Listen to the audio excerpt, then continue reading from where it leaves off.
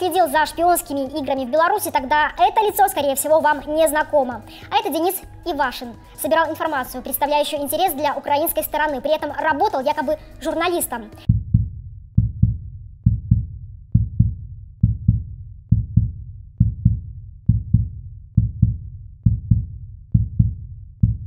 Был редактором белорусской странички украинского проекта «Информ Напалм». О самом проекте чуть позже, а сейчас несколько деталей. Был активистом БНФ, участвовал в акциях протеста. В 2014 году начал позиционировать себя как сторонник правого сектора. Выехал в Украину, где участвовал в Евромайдане и беспорядках в Киеве. Что касается информнапалма, нашими спецслужбами установлено, что ресурс создан 72-м Центром информационно-психологических операций. И в компании этих ребят работал Денис Ивашин.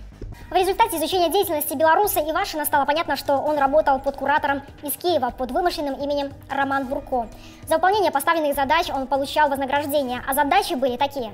Собрать информацию о российско-белорусском военном, политическом, экономическом, культурном сотрудничестве, ситуации в вооруженных силах, проработка сотрудников силового блока страны, а также бывших военнослужащих украинского спецподразделения «Беркут», которые переехали в Беларусь.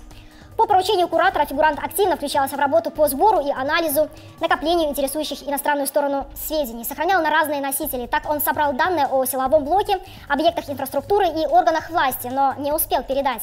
На счет Ивашина периодически поступали деньги. Проверка показала высокий уровень украинской разведки. Вы были на официальных мероприятиях, с кем-то еще, может быть, общались?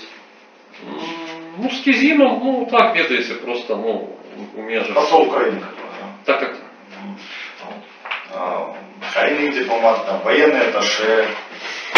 Ну, тільки весілля у меня, вот, наприклад, то, що ви виняли і все. А весілля як? ні, ні, розмов ніяких не було. Не было. Эта визитка была где получена. Ну, Ну, ну, таки вам писать. Он вышел, выс- ну, написал на мою электронную почту. Ну, до этого он вам звонил, может быть, или, Не, не или звонил. встречались, Ні. приезжали, общались. Ніколи, ніколи поза Приезжали. межами, ніколи не було ніяких зустрічей. исключительно была Выключено. электронная переписка. Так, так, так. Электронная переписка. Так. В отношении Ивашина возбуждены и расследуются уголовные дела по статьям 365 «Вмешательство в деятельность сотрудника органов внутренних дел» и 356